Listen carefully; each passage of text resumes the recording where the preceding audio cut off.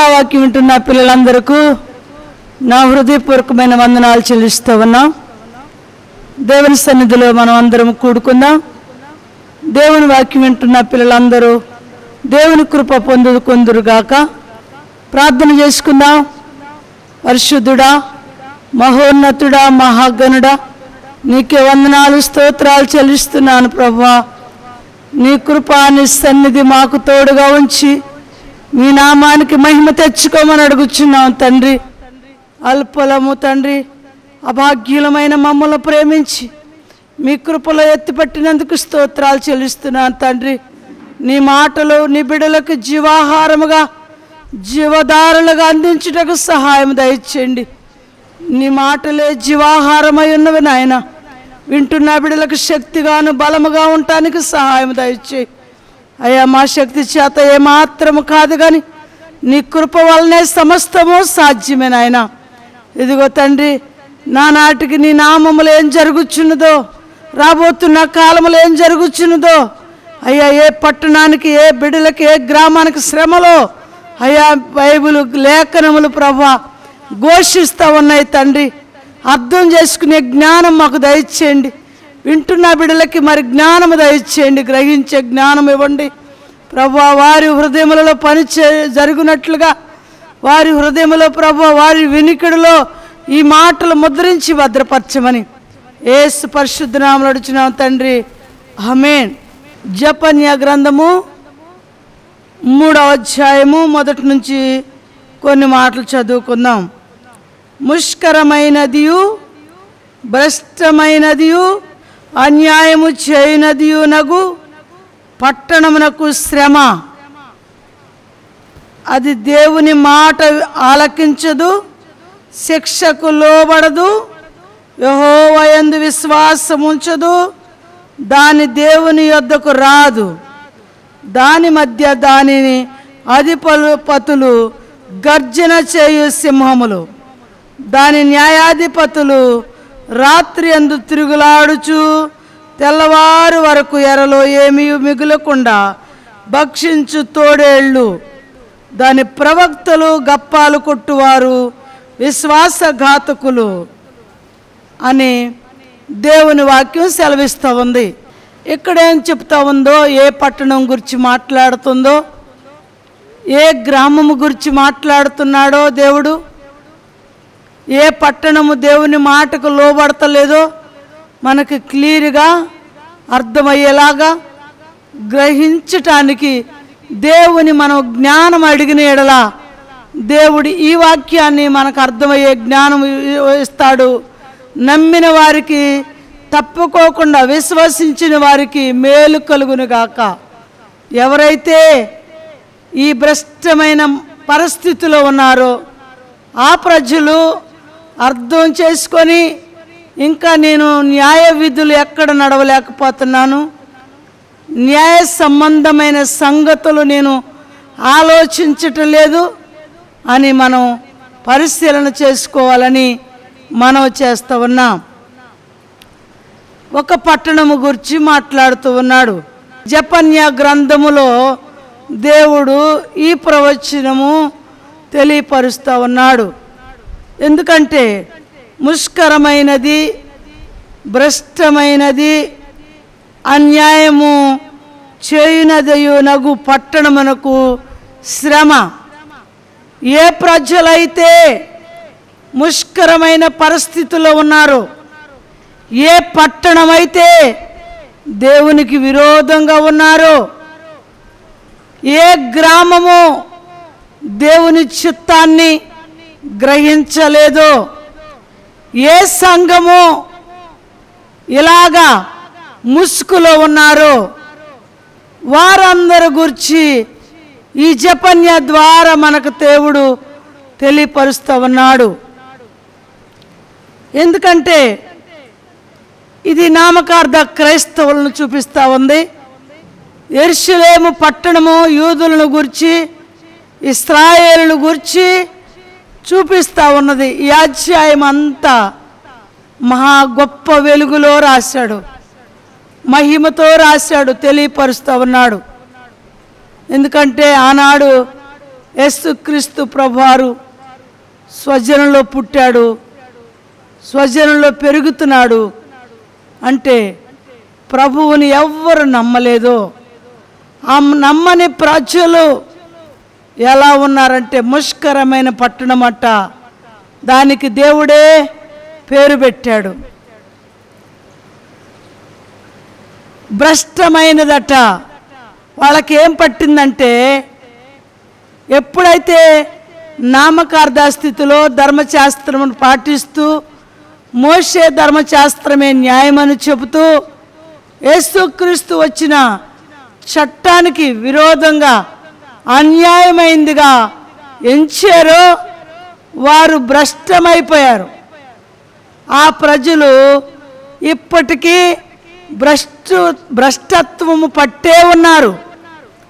ఎందుకంటే దేవుని వాక్యం చెబుతుంది కదా యేసుక్రీస్తుని నిజమైన రక్షకుడుగా అంగీకరించలేకపోయారు.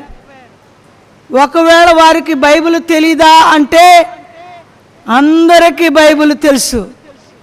ధర్మశాస్త్రము బహుగా పఠించిన వారు ధర్మశాస్త్రాన్ని బహుగా బోధించిన వారు యాజకుల గురించి కూడా ఇందులో ఉంది. నామకార్థ క్రైస్తవులే కదా. అన్యులు సిలువేయలేదు అన్యులు యేసుక్రీస్తుని హాని చేయలేదు.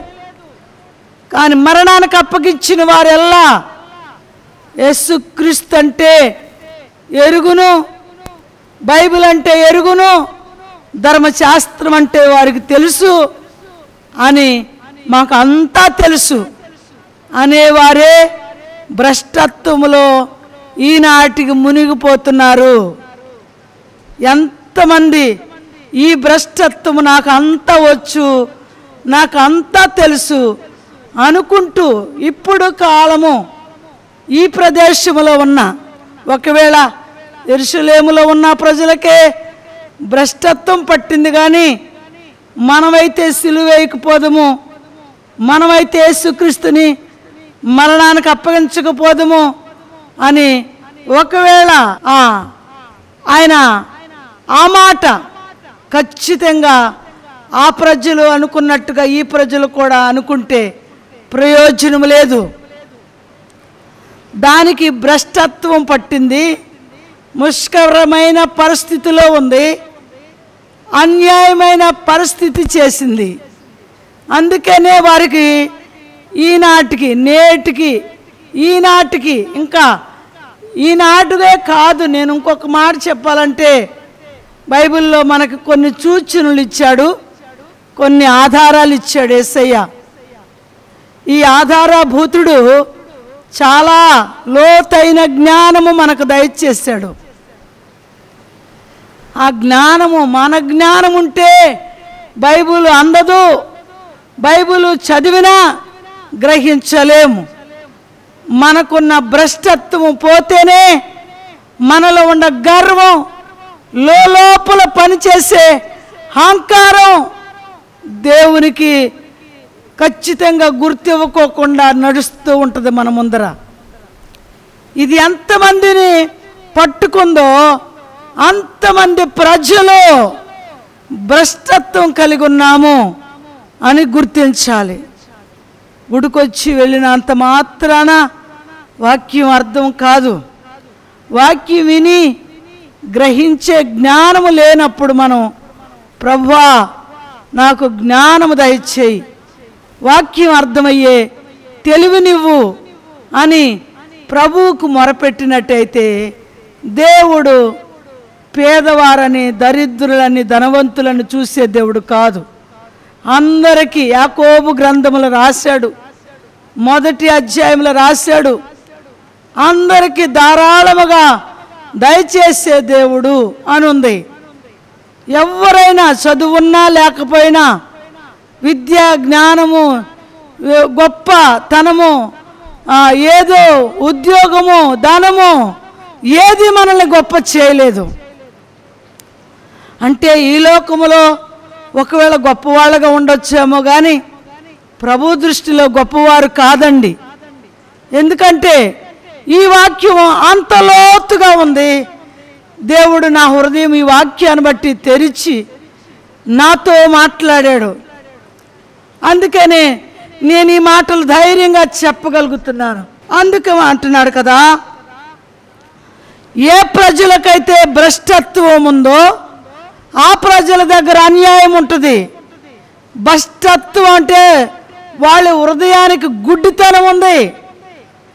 వారు మనస్సు మీద ముసుకుంది వారు మనిషి మీద కాదండి ముసుకు మనస్సు మీద ముసుకుంది అందుకని ఈ ముసుకుంటం వలన ఈ ధర్మశాస్త్రము అనుసరించటం వలన తప్పుకోకుండా అదే ముసుగులో మన అపస్తులైన పౌలు గారు చాలా విషయాలు మనం పత్రికలన్నీ చదివితే ఖచ్చితంగా ప్రభు చెబుతున్నాడు. ఆయన మాటలన్నిటినీ అర్థం చేసుకోకముందు ఒకలాగా నడిచాడు. క్రీస్తు యేసుని అనుసరించిన ప్రజలను ఖచ్చితంగా చంపేశాడు స్త్రీలను చెరిపాడని పొట్టలు చించాడని పచ్చిగందులు పొట్టలో ఉంటే శిశువులను లాగి చంపేశాడని ఈ విధంగా ఆయన మీద చాలా ఆరోపణలు విన్నాం. ఎప్పుడైతే యేసు ప్రభువారు ఆయనకు పట్టిన భ్రష్టత్వాన్ని వదిలిచ్చాడో ఆయనకున్న కళ్ళల్లో ఉన్న పొరలు రాలిపోయినాయో. ఏసు నామములో ఆయన గుడ్డు తలము తొలగిపోగా అప్పుడే దేవుని దగ్గర మాటిస్తున్నాడు. తీర్మానం చేస్తున్నాడు. నేను నా కొరకు శ్రమపడి ప్రాణం పెట్టిన యేసు కొరకే నేను చనిపోతా అన్నాడు. అప్పుడు వరకు యేసు ప్రభు ఒక బోధకుడుగా ఒక ప్రవక్తగా ఒక మనిషిగా లెక్కేసి ఊహించి ఈ ధర్మశాస్త్రం అనే భ్రష్టత్వం పట్టి పరుగులు తీస్తా ఉన్నాడు. ఆయన క్రైస్తవుడు కాకపోలేదు అంత క్రితం అన్యుడు కాదు ధర్మశాస్త్రోపదేశకుల దగ్గరికి వెళ్ళి ఆ యాజకుల దగ్గరికి వెళ్ళి ఒక బాండ్ రాపించుకొని ఒక గొప్ప పరిపాలన చేయాలని ఉద్దేశంతో ఉన్నాడు. దేవుని కలిగిన వ్యక్తి ఏ పరిపాలన కోరుకోలేడండి. గుడి నడపాలన్న భయమే ప్రార్థన చేయాలన్న భయమే తగ్గింపు జీవితం కలిగిన వ్యక్తి హృదయం తెరవబడిన వ్యక్తికి దేవుని సన్నిధిలో నడవటానికి చాలా జాగ్రత్తగా ఉంటాడు. కానీ పౌలు గారికి జాగ్రత్త తెలియలేదు భయము తెలియలేదు. ప్రణాళికలో ఆయన ఏమై ఉన్నాడో ఏర్పాటు చేయబడిన సాధనముగా దేవుడు ఏర్పాటు చేసుకున్నాడు ఆ తర్వాత. ఎంత శ్రమలంటే ఆయనకు పట్టిన గుడ్డితనం పోయినాక ఆయనలో గర్వము హాము తగ్గిపోయినాక ఆయన కళ్ళల్లో పొరలు ఊడి రాలిపోయినాక అప్పుడే నిజమైన రక్షకుడిగా అంగీకరించడానికి ఇష్టపడ్డాడు. మనందరం కూడా అంతే. ఎవ్వరము తక్కువ వారం కాదు. ఎవరు మంచివారము కాదు. మనలో ఉన్న భ్రష్టత్వం పోవాలని యేసు నామములో నేను మనవి చేస్తున్నాను మీ అందరికీ. ఎంతమందికి ఈ భ్రష్టత్వం ఉంది అంటే సేవకులతో సహా భ్రష్టత్వం ఉంది. పరిచర్య వారికి భ్రష్టత్వం ఉంది. అలాగని సంఘాలు నడుపుతున్నామని గర్వించే వారికి భ్రష్టత్వం ఉంది. నాకే కదా ఇన్ని సంఘాలు ఉన్నాయి నేనే కదా ఈ ప్రజలను నడపగలను అనుకునే వారందరికీ ఒక భ్రష్టత్వం పట్టి వారిని పీడిస్తూ ఉంది. ఈ భ్రష్టత్వం పోతేనే దేవునికి మహిమ కలిగిన మాటలు దేవునికి మహిమ తెచ్చే పనులు చేయగలం. అప్పుడు వరకు దేవునికి మహిమ తేలేం. ఎందుకంటే ఆయన అంటున్నాడు కదా ఈ ప్రజలు ఎవరు అంటే భ్రష్టత్వము కలిగిన వారని. అపోస్తులైన పౌల్ని మీకు చూపిస్తున్నాను ఒక్కడనే. కానీ చాలామంది భ్రష్టత్వం భ్రష్టత్వము కలిగి భక్తికి దూరమైపోయి ప్రభువుకు దూరమైపోయి దేవుని రాజ్యాన్ని కోల్పోయే ప్రజలు లేకపోలేదు. ఇంకొక మాట చెప్పాలంటే అప్పుడున్న ప్రజలు యేసుక్రీస్తు దేవుడని నిజ రక్షకుడుగా ఎప్పుడు నమ్ముతారు అంటే ఒక చెట్టును చూపించాడు. మనందరికి గుర్తు. మత్తీసు వార్తలో ఇరవై నాలుగు అధ్యాయంలో చెప్తాడు ఈ అంజూరపు చెట్టు లేతదై సిగిరించినప్పుడు వసంతకాలం వచ్చుచున్నది అని గుర్తుంచుకోండి అన్నాడు. ఎందుకని ఆ ఎండిపోయిన చెట్టు మరలా చిగురించుద్ది అంటే ఎండిపోయిందంటే దానంతటికి అది ఎండిపోలేదండి. దేవుడే ఆ మ- బేతనీయ గ్రామానికి వెళుతుండగా ఆ అంజూరపు చెట్టు ఎండిపోమ్మని దేవుడే శపించినట్టుగా మనం చాలాసార్లు ఉపమానాలు నేర్చుకుంటున్నాం. ఈ ఉపమానాలు నేర్చుకునేవారుగా ఉంటే కుదరదు. దేవుని రాకడలో ఎత్తబడం. ఆ అంజూరపు చెట్టు అలనాడు యేసుక్రీస్తును సిలువేసే ప్రజలు వారే.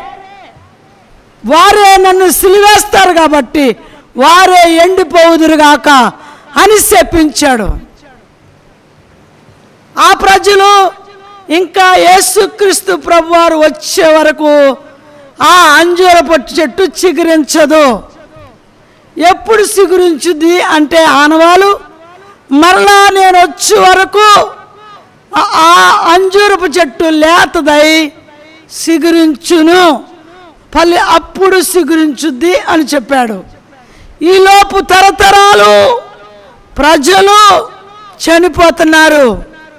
ఈలోపు తరతరాలు గతించిపోతున్నాయి. కాలగతుల్లో కలిసిపోతున్నారు. భూగర్భములోకి వెళ్ళిపోయారు ఈ ప్రజల సంగతి ఏంటి? అని ఎవరికైనా మనసును ఉందా? ఉంటే గనక ఈరోజు మనం నిప్పులాగా వెలిగించబడదాం. ఏసైని మహిమపరుద్దాం. వారి వలె గర్వంగా ఉండకుండా ఉండాలి. వారికి పట్టిన భ్రష్టత్వం మనకు పట్టకుండా కాపాడుకుందాం. దేవునికి స్తోత్రము కలుగును గాక ఎందుకంటే ఆ భ్రష్టత్వం వలన మన పితరులు సహోదరులు అనబడిన వారందరూ భ్రష్టత్వం కలిగి నశించిపోయారు. మనం కూడా అదే స్థితిలో ఉంటే మనకు కూడా దేవుని రాజ్యం లేదు. ఎందుకంటే ఈ ఉపమానాలన్నీ నేర్చుకోవటానికి ముందు నేను ఈ హెచ్చరికలు మీకు చెబుతా ఉన్నా. అంజూరపు చెట్టు చచ్చిపోక ముందు యేసు ప్రభు సిలువేయబడలేదండి. ముందలే ఆయన కాలగతులు ఆయనకు తెలిసి నేను సిలువుకి వెళ్తున్నాను నన్ను వీరే బంధిస్తారు అని ఆయనకు తెలిసి ఆయన ముందలే ఆ చెట్టు దగ్గరకు వెళ్ళాడట. మొదట పుట్టమే వారి మధ్యలో పుట్టాడు. అక్కడికి వెళ్ళి ఏం చేశాడంటే ఆ చెట్టున ఫలాలు ఉండయేమో ఆకలి కొన్నాడట. కాయలు లేవు. అయితే కాయలు లేకపోతే ఫలాలు లేకపోతే ఆకలి తీరదు కదా. ఆకులు మాత్రం ఉన్నాయి అని చెప్పింది ఆ మాట. ఎంత గొప్ప దేవుడో. ఈ మాటలు చదువుతున్నప్పుడు హృదయము మన వాంఛలు తీర్చే దేవుడు. మన ఆస్తులు తీర్చే దేవుడు. నిజంగా మన దగ్గర నామకార్థ క్రైస్తవులలో ఎంతమంది ఆచార భక్తులు ఉన్నారంటే ఆ అంజూరపు చెట్టుకు పట్టిన భ్రష్టత్వం ఈనాడు నామకార్థ క్రైస్తవులకి భ్రష్టత్వం పట్టిందని బైబిల్ రుజువు చేస్తుంది మనకి. ఎందుకంటే బైబిల్ ఏమని చెబుతుందంటే ఆకులు తప్ప ఫలాలు లేవు. ఆకులు అనగా చెట్టు నిండా మంచిగా ఫలభరితం ఉన్నట్టు పచ్చగా పరవలిల్లింది. ఫలాలు లేవు కదా. అంతేకాదు ఎవరికి ఉపయోగపడలేదు కదా. అంతేకాదు కనీసం మన ఆచార ప్రకారం తలంటుకోవాలి నూతన వస్త్రం వేసుకోవాలి గుడికి వెళ్ళాలి. ఇది మాత్రమే మనకి మన భక్తులు నేర్పుతున్నారు మనం నేర్చుకున్నాం చిన్ననాటి నుండి. కానీ అది భక్తే కాదని నేడు నాతో దేవుడు రుజువు చేస్తున్నాడు. ఒకప్పుడు నడిచింది భక్తి కాదు అని నన్ను నేను రుజువు చేసుకుంటున్నా. మరి మీ అందరికి కూడా మీ మనస్సాక్షులు రుజువు చేయబడాలని కోరుకుంటున్నా. ఎందుకంటే నామకార్థ క్రైస్తత్వంలో ఉన్న పిల్లలు ఎవరికి వారు ముసుగుపోనిదే వారి భ్రష్టత్వం పోనిదే. వారి ముష్కరమైన జీవితాన్ని విడిచిపెట్టకుండా దేవుని రాజ్యము లేదని బైబిల్ మనకు ఖచ్చితంగా చెబుతుంది. ఎంతమంది ఈ మాటలు నమ్మి విశ్వసిస్తారో వారు ప్రార్థన చేయవాలని కోరుకుంటున్నా. ఎందుకంటే సిలువ వేయబడుతున్నారు. శ్రమ దినాలు వచ్చినంటే నలభై దినాలు ప్రార్థన గ్యారంటీ. ఉపవాస ప్రార్థన గ్యారంటీ. తలంటుకోవడం గ్యారంటీ. ప్రభు సన్నిధికి వెళ్ళటం గ్యారంటీ. ఇవే గ్యారంటీ నువ్వు. దీనికే గ్యారంటీ చేసుకుంటున్నావేమో. పరలోక రాజ్యానికి నువ్వు గ్యారంటీగా ఉన్నావా? అంటే ప్రభువు యేసు ప్రభు వారు నలభై దినాలు ఎందుకు శ్రమల్లో ఉన్నాడు?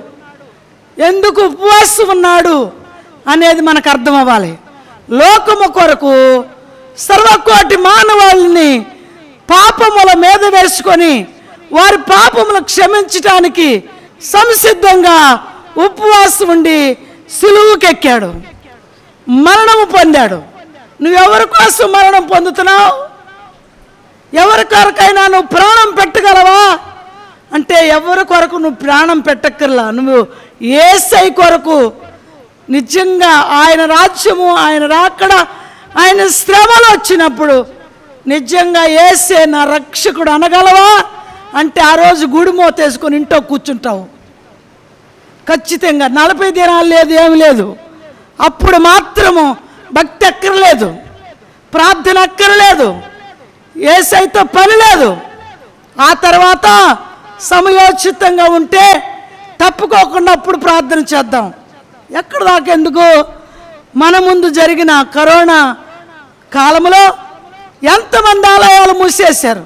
ఎంతమంది? పర్వాలేదు ఏ తెగులైనా పర్వాలేదు. ఏమైనా చనిపోయినా పర్వాలేదు అని.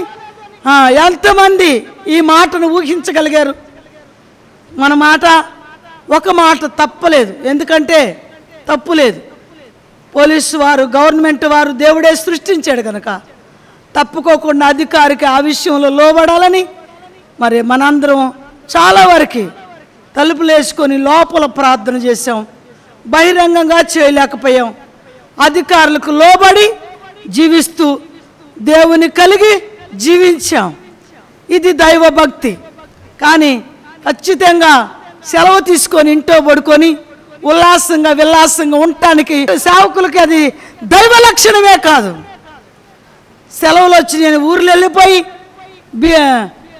మంగిరిపూడి బీచ్లకి వెళ్ళిపోయి ఎంతమందో కాలయాపన చేయాలా అనుకొని ఉన్న ఊర్లోనే ఎన్నో పనులు చేసే నాతో కొంతమంది పంచుకున్నారు.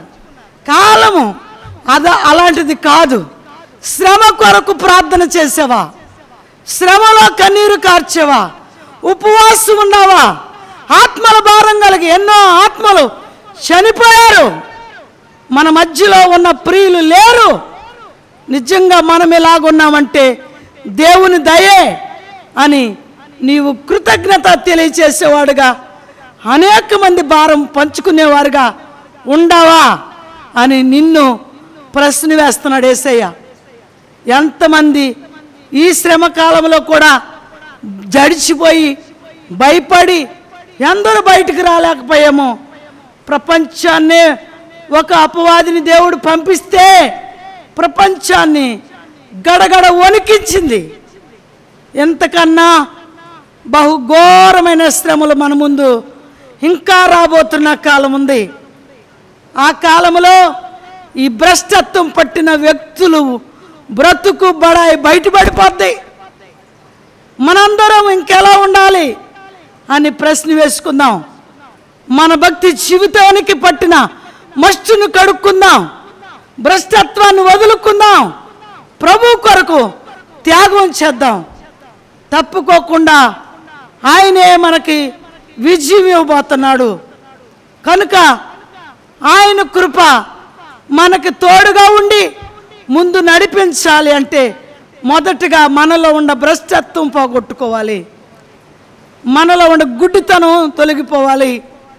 నేను నేను తప్ప ఎవరు లేరు ఇలాగా. అనే గర్వం లోపల పనిచేసిన అంతరంగము చూస్తున్న దేవుడికి తెలుసు. ఆ యొక్క దేవుడు చూస్తున్నాడు గనక ఆయన వింటున్నాడు ఆయన చూస్తున్నాడు గనక తప్పుకోకుండా నీ అంతరంగమును పట్టుకోగలడు. ఆయన అంటున్నాడు ఇంకొక మాట కాడకి వెళ్దాం. ఈ అంజూరపు చెట్టు గురించి మాట్లాడుకున్నాం ఇప్పుడు. కొన్ని మాటలు ఆచార క్రైస్తవుల గురించి మాట్లాడుకున్నాం. అయితే ఇంకొక మాట చదువుకుందాం. శ్రమ. అన్యాయము చేయనదియునగు పట్టణమునకు శ్రమ. అది దేవుని మాట ఆలకించదు శిక్షకు లోబడదు. యేసు ప్రభువారు మూడు సంవత్సరాల బోధ చేశాడు వారి మధ్యలో తిరిగాడు వారి మధ్యలో పెరిగాడు గనక ఆయన్ని లేఖన ప్రకారంగా సిలువేయాలి. ఒకటి రెండోది ఏంటంటే ఆయనతో పరిశుద్ధాత్ముడు ఉన్నాడని నమ్మకపోవటం. ఆ ప్రజలందరూ సిలువ వేయుడి సిలువ వేయుడని కేకలు వేశారు. అంటే శ్రమైన భరిస్తుందంట కానీ యేసుతో నడవదట. యేసుకు లోబడదట. యేసుకు భయపడదట. ఎంత ఆశ్చర్యంగా ఉంది. ప్రార్థన చేసుకుందాం. పరిశుద్ధుడా మహోన్నతుడా మహిమగల తండ్రి నీకే స్తోత్రములు నాయన. ఎన్నిక లేని మమ్మలను ప్రేమించి నీ దీని మాటలు నీ విలువైన మాటలు నీ ఘనమైన మాటలు మాతో ఉంచిన దేవానికి స్తోత్రాలు. అయా ఊహించలేనన్ని మాటలు మా నోట ఉంచి మీరు మాట్లాడినందుకు స్తోత్రాలు చెల్లిస్తున్నావు నాయన. శాశ్వతమైన కృపతో నన్ను జ్ఞాపకము చేసుకయా ఇదిగో నీ బిడ్డలకు ఇంకా నేను కావలసిన ఈవులు అందించలేని స్థితిలో ఎక్కడ ఉంటున్నానో ఎక్కడ చెప్పలేని స్థితిలో ఉంటున్నానో ఎక్కడ మోగబోయి ఉంటున్నానో నా నోరు మాట్లాడవలసిన కాడ మాట్లాడలేకపోతుందేమో. అయ్యా మీ చేతులకు అప్పగిస్తున్నా నన్ను నేను. మీరు సరిచేయమని అడుగుచున్నాను ప్రవ్వా. ఇదిగో తండ్రి నీ దీని బిడ్డలు ఎంతమంది వాక్యము విని ఈ వాక్యాన్ని అర్థము చేసుకునే జ్ఞానము వారికి దయచేయండి. గ్రహించే జ్ఞానము దయచేయండి. మీ కృప మీ సన్నిధి సహవాసము తోడుగా ఉంచమని అడుగుచున్నాను ప్రవ్వా. అయా ఈ దినము చేస్తున్న అయా మాటలు వింటున్న మాటలు ఎంతమంది ప్రియమైన బిడ్డలు వింటున్నారో. స్మున్నా మినిస్ట్రీస్ సంఘము తరపున ఎవరు ఏ విధంగా ఈ మాటలు వింటున్నారో గ్రహించే జ్ఞానము వారందరికి దయచేయమని. మీ నామానికే మహిమ తెచ్చుకోమని మీ చిత్తమే వారితో ఉండి నడిపించమని. ఆకులు లేని ఆకులు కలిగిన అంజూరు మూలే ఉండకుండా ఫలాలు కలిగి జీవించుట మాకు నేర్పించి మీ నామానికే మహిమ తెచ్చుకోమని. యేసు అతి పరిశుద్ధ నామములో అడిగి వేడుకుంటున్నాము తండ్రి. ఆమెన్. ఏసు రక్తమే జయం. సిలువు రక్తమే జయం. ఏసు నామునకు సంపూర్ణ విజయము కలుగును గాక. ఆమెన్. ఆమెన్. ఆమెన్.